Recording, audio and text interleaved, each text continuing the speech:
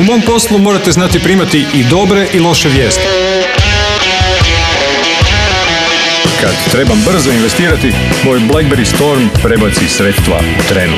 Kad je posao u pitanju, morate imati onaj feeling u prstima. Na sreću uvijek mogu potražiti i stručno mišljenje. Zato mogu prognozirati baš sve. Znao sam, uz BlackBerry Storm posao postaje igra. Sve zbog vas. VIP.